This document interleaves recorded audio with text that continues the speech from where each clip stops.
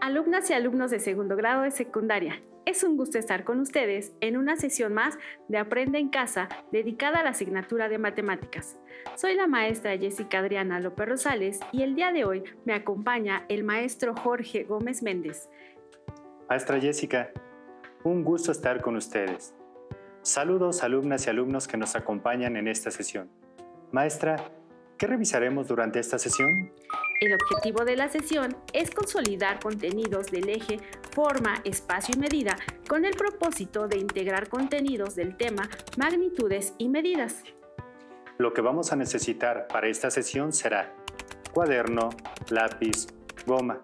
Tomen nota de los aspectos que consideren más relevantes, así como de las dudas o inquietudes que les vayan surgiendo para que, a la distancia, las puedan compartir con sus docentes ya conocen los contenidos de esta sesión.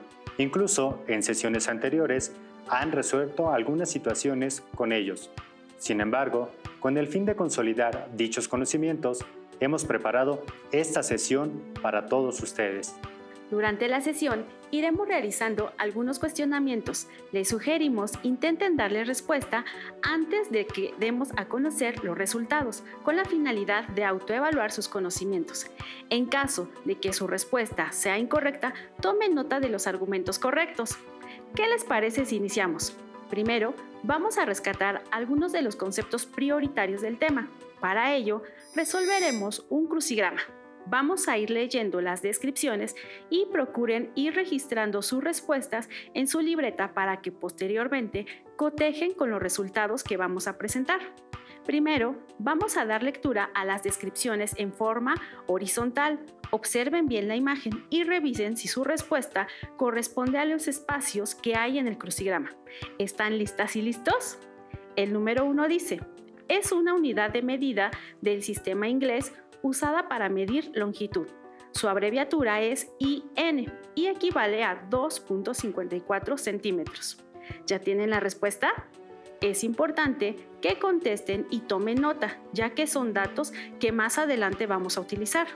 Profesor Jorge, ¿ya tiene la respuesta? Sí, profesora. La respuesta es pulgada. Así que vamos con el número 7 y seguimos en horizontal es un múltiplo del metro, cuyo prefijo significa mil y equivale a mil metros. Imagino que esta descripción les fue muy sencilla. Profesora Jessica, ¿nos ayuda con la respuesta? Con gusto. La respuesta correcta es kilómetro. Continuamos con la 9 horizontal, propiedad de un cuerpo, fenómeno o sustancia que puede medirse y expresarse cuantitativamente mediante un número y una unidad. Profesor, ¿ya sabe la respuesta correcta? Sí, es uno de los conceptos más importantes que trabajaremos durante la sesión y es magnitud. Ahora va la 10 horizontal, unidad básica del Sistema Internacional de Unidades para medir la temperatura. ¿Ya tienen la respuesta? Esta la usan principalmente en física. Profesora Jessica, ¿puede decir la respuesta? Mm, si no me equivoco, es Kelvin. Veamos si corresponde con los espacios del crucigrama.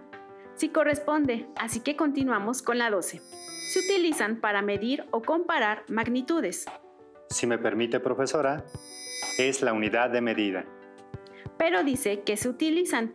Está en plural y se refiere a que se pueden manipular. Es cierto. Entonces, son instrumentos de medida. Veamos si corresponde en el crucigrama. No corresponde.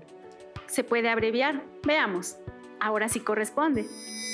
Continuemos con el número 13 y seguimos con horizontal, unidad básica de longitud en el sistema internacional. Profesora, ¿tiene algún comentario? Sí, las unidades básicas o fundamentales están determinadas en el Sistema Internacional de Unidades y son siete. La que corresponde a la longitud es el metro. Sigamos con el número 15. Es usado en Estados Unidos de América y en algunos países con tradición británica. Tomen en cuenta de qué trata nuestro tema para que se les faciliten las respuestas. Yo la tengo. Es el sistema inglés. Pongamos la respuesta en el crucigrama. Listo. Prosigamos con el número 17.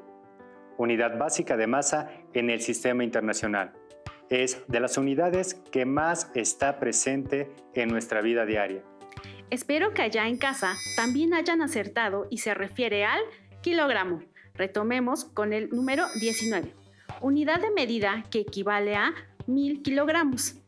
La unidad se usa para comparar medidas de masa. Espero en casa hayan contestado de manera correcta y es la tonelada. Vamos con el último número de las palabras horizontales, que es el 20. Unidad de medida del sistema inglés usada para medir longitud. Su símbolo es MI y equivale a 1.609 kilómetros. Esta se relaciona muy fácil por su símbolo. Espero que las alumnas y alumnos también hayan acertado en la respuesta y es la milla. ¿Cómo se sienten hasta el momento? ¿Contestaron de forma correcta todos los cuestionamientos? Terminamos con las palabras que van en horizontal. Ahora continuamos con las que van de manera vertical. Estas pueden ser más sencillas debido a que ya tienen algunas letras. Proseguimos con el número 2, que se encuentra en las verticales. Unidad básica de la corriente eléctrica en el Sistema Internacional de Unidades. Esta unidad la usan principalmente en la asignatura de física. ¿Ya saben de qué se trata? Profesor Jorge, ¿tiene la respuesta? Sí, se refiere al amperio. Anotemos en el crucigrama. Demos continuidad a las verticales con la número 3. Es un submúltiplo del metro y representa una centésima parte del metro. Seguramente allá en casa ya encontraron la respuesta, pues la respuesta está en la misma palabra, centésima, y se refiere al centímetro. Vamos con la número 4.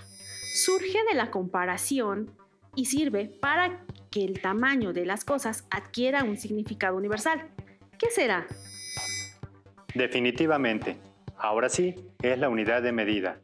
Veamos si corresponde en el crucigrama. Es correcto. Pasemos con el número 5, unidad básica de intensidad luminosa en el Sistema Internacional de Unidades. Es un término no usado en la vida cotidiana, sin embargo es muy importante y es candela. Continuemos con el número 6, unidad básica de tiempo. Cabe destacar que esta unidad se usa tanto en el sistema inglés como en el sistema internacional. Así es, profesora, y se refiere al segundo. Ahora sigue el número 8. Es una unidad de medida del sistema inglés usada para medir masa. Su símbolo es LB y equivale a 0.453 kilogramos. ¿Ya saben de qué unidad se trata? ¿Ya tienen la respuesta? Veamos si coincide con la que daremos a conocer y esa unidad de medida es la libra. Otra unidad de las más usadas dentro del sistema inglés viene en el siguiente número, que es el 11, y dice, unidad de medida del sistema inglés usada para medir longitud. Su símbolo es FT y equivale a 30.48 centímetros. Esta es una de las unidades que originalmente se retomó de la medida de una parte del cuerpo y esta unidad se le llama pie. Seguimos con el número 14 y dice unidad más común para medir la cantidad de líquido que contiene un cuerpo y se representa con la letra L. Es usado con frecuencia en nuestra vida cotidiana y se refiere al litro. Veamos si corresponde en nuestro crucigrama. Estamos por concluir. Vamos con el número 16 que dice también se conoció como sistema métrico. Consta de siete unidades básicas. Su abreviatura es el sinónimo de afirmación. En donde se establecen las unidades de medida universales. Se refiere al Sistema Internacional de Unidades y sus siglas aceptadas son SI. Para concluir, demos respuesta al número 18, unidad básica del Sistema Internacional para medir cantidad de sustancia. Esta unidad es común que la usen en la asignatura de ciencias y se llama mol. Con esto concluimos nuestro crucigrama. Observemos que llenamos todos los espacios allá en casa. ¿Cómo les fue? ¿Cuántos aciertos tuvieron? Esperamos que sus respuestas hayan sido correctas. En caso de haber fallado en algunas, tomen nota para que no se les olvide. Deseamos hayan disfrutado el ir contestando y también al autoevaluar sus conocimientos. Para seguir reforzando sus conocimientos, vamos a continuar con algunas situaciones para aplicarlos. Resolveremos situaciones donde usamos algunas de las unidades de medida que hemos recordado. A continuación, se presentan algunos objetos Relaciónenlos con la unidad de medida que sería conveniente para estimar su longitud. El primer objeto es un lápiz y es conveniente medir su longitud en alguna unidad como pueden ser los milímetros o centímetros. ¿Ya saben de cuál se trata? Bien, entonces lo relacionaremos con centímetros. Cabe destacar que 100 centímetros equivalen a un metro. El siguiente objeto es una muela como es más pequeña que el lápiz, conviene medirla en milímetros. Entonces la relacionamos con el símbolo mm.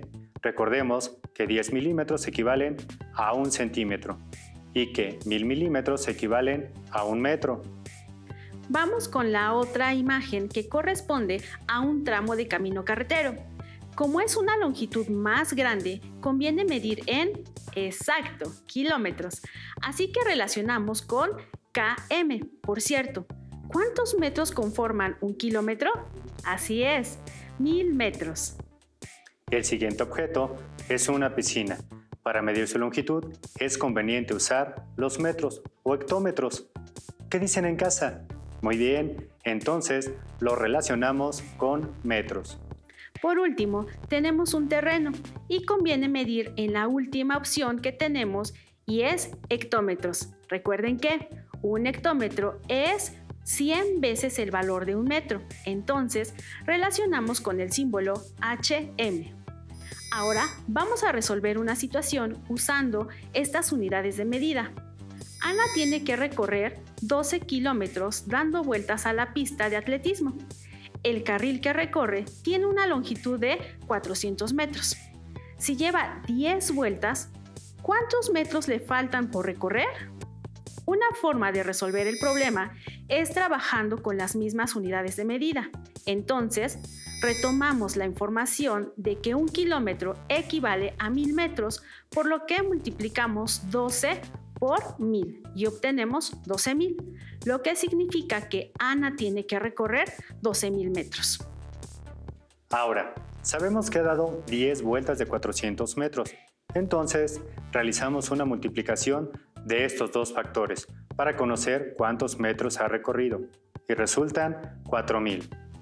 Así es. Entonces, solamente falta calcular la diferencia entre el total de metros a recorrer con los metros que recorrió, es decir, 12.000 menos 4.000 de lo que se obtiene 8.000. Por lo tanto, a Ana le falta por recorrer 8.000 metros. Pasemos con otra situación. Luis elabora mascadas. Para cada una requiere de 42 centímetros de tela.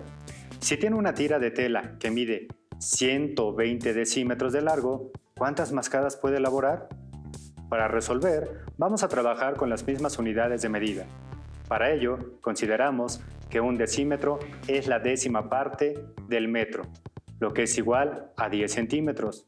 Entonces, un decímetro equivale a 10 centímetros. Para convertir los decímetros a centímetros, basta con multiplicar por 10, es decir, 120 por 10, de lo que resulta 1200 centímetros. Una vez que ya está todo con la misma unidad de medida, en este caso centímetros, se puede dividir el largo total de tela en centímetros entre la medida que se ocupa para cada mascada, quedando 1200 entre 42, lo que es aproximadamente igual a 28.57. Esto significa que Luis puede elaborar 28 mascadas. Vamos con otra situación con unidades de longitud. Oscar ha comprado un tablón de 1.50 metros de longitud para hacer repisas de 25 centímetros de largo. ¿Cuántas repisas puede elaborar? Para dar solución a esta situación, es recomendable trabajar con las mismas unidades de medida. En este caso, vamos a trabajar con metros. Un centímetro es la centésima parte del metro. Entonces, 25 centímetros son 25 centésimos de metro, es decir, 0.25 metros. Ahora, dividimos 1.5 entre 0.25, lo que da como resultado 6. Esto quiere decir que Oscar puede elaborar 6 repisas. Demos continuidad. Manuel tiene como ver una cómoda de una habitación a otra. Las medidas del mueble son 22 pulgadas de ancho por 30 pulgadas de largo y 85 pulgadas de altura. Las medidas de la puerta por las cuales pasará el mueble son de 2.75 pies de ancho por 7 pies de alto. ¿Podrá pasar la cómoda por la puerta? En este caso, vamos a trabajar con pulgadas. Entonces, necesitamos conocer la equivalencia de pulgadas a pies, y un pie equivale a 12 pulgadas. Así que, para conocer el valor de 2.75 pies, multiplicamos 2.75 por 12, de lo que se obtiene 33, lo que significa que la puerta mide 33 pulgadas de ancho.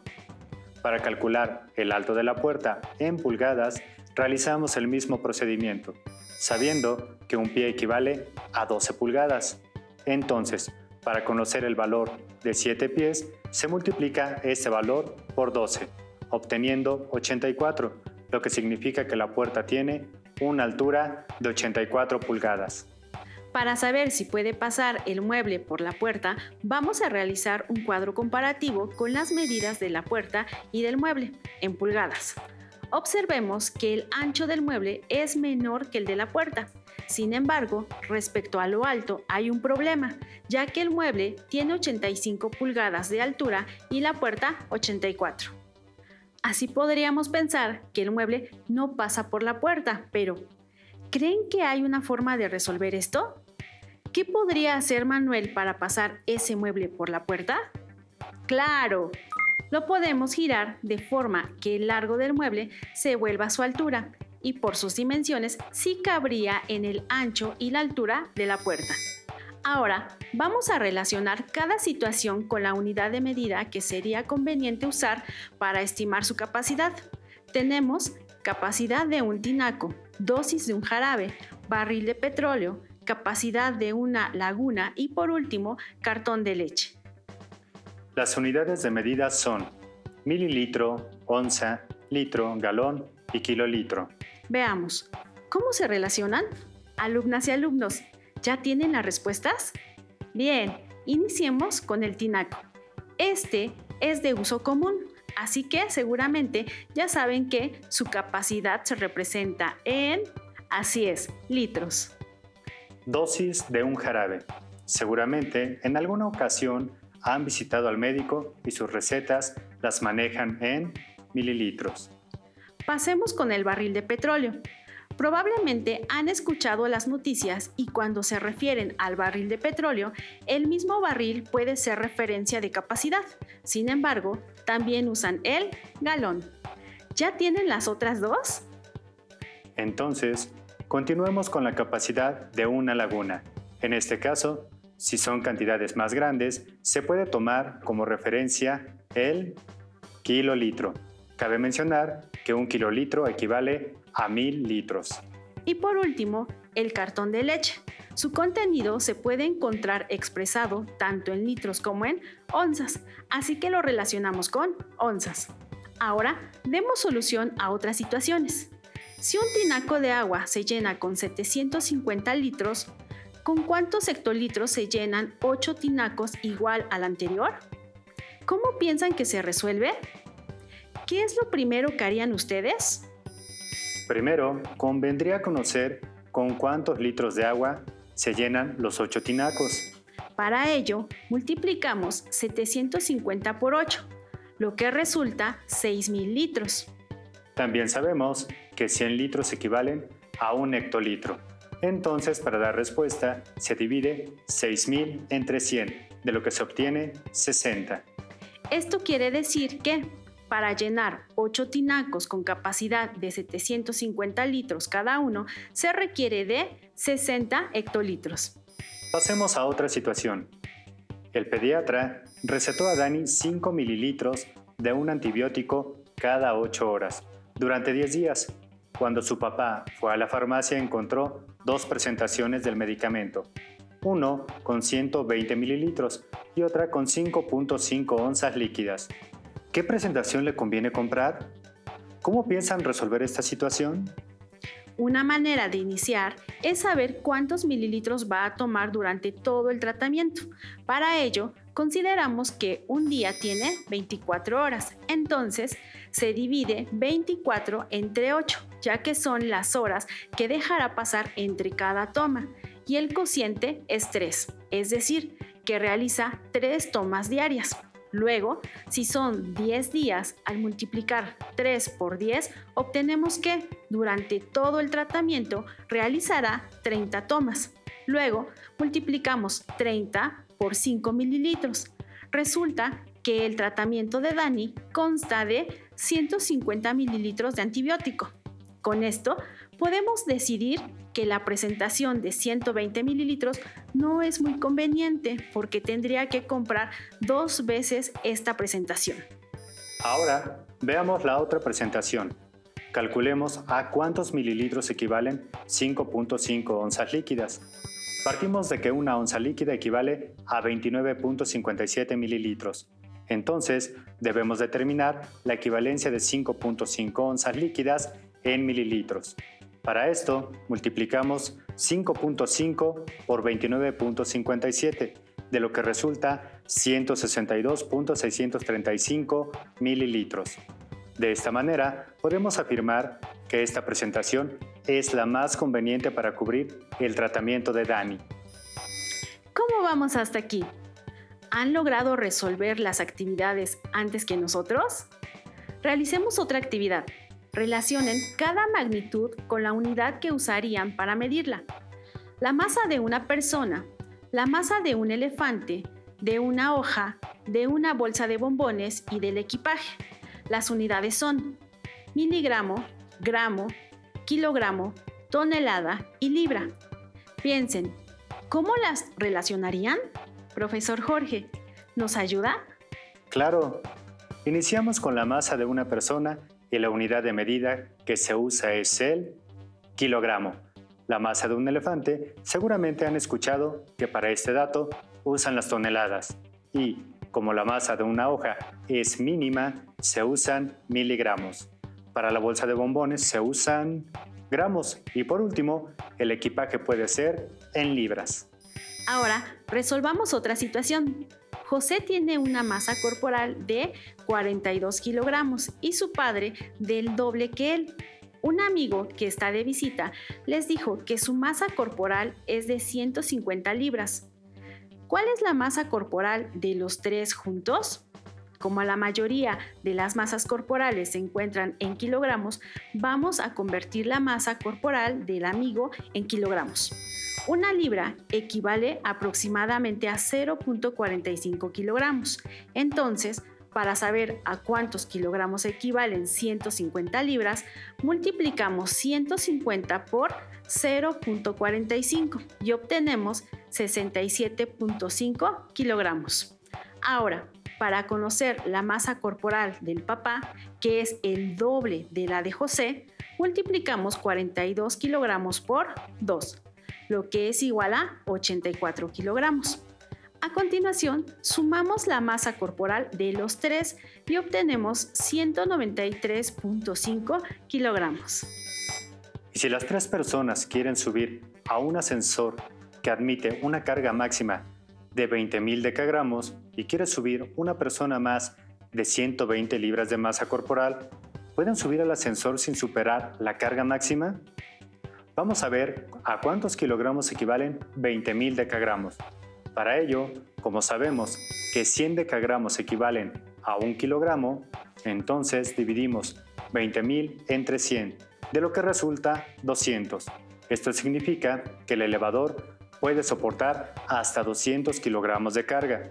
Ahora, para conocer la equivalencia de 120 libras a kilogramos, se multiplica 120 por 0.45, lo que resulta en 54 kilogramos. Ya habíamos calculado la masa corporal de las tres primeras personas, así que ahora solamente sumamos 193.5 kilogramos más 54 kilogramos y obtenemos 247.5 kilogramos. Observemos que se excede de la carga máxima que soporta el elevador, así que podemos afirmar que no es posible que lo utilicen las cuatro personas juntas. Con esto concluimos esta sesión. Esperamos que lo trabajado les permita reforzar sus conocimientos sobre el tema magnitudes y medidas. Cabe destacar que hay otras formas de resolver estas situaciones. Aquí compartimos una de ellas, pero ustedes pueden utilizar otras estrategias. Para finalizar, como reto, busquen en su libro de texto los temas relacionados y resuelvan al menos dos situaciones sobre ellos. Luego, compartan sus resultados con sus docentes en su trabajo a distancia. Fue un gusto estar con ustedes. Hasta, pronto. Si tienes dudas o necesitas ayuda, llama al Centro de Apoyo Pedagógico a Distancia. El número de teléfono para secundaria es el 55 36 01 71 23. Si requieres consultar los libros de texto en versión digital, recuerda que los puedes encontrar en la página conalitec.cep.gov.mx.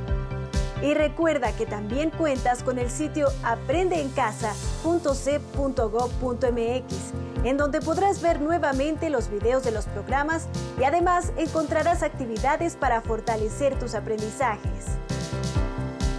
También te invitamos a que consultes la plataforma nuevaescuelamexicana.cep.gov.mx.